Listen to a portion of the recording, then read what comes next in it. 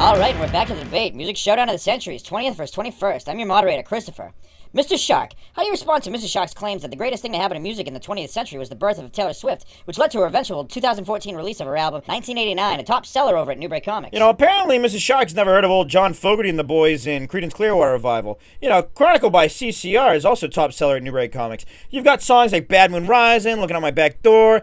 You know, I tell you, Christopher, they stopped making songs like those on December 31st, 1999. Uh, the century actually ended on December 31st, 2000. no, no, no, that's not Uh, true. Actually, it is true, and also Taylor Swift has had like 37 number one hits. I don't think CCR even had one. I mean, that's that sounds like an exaggeration to me. And also, they I mean, they weren't trying to make hits; they were trying to make good music.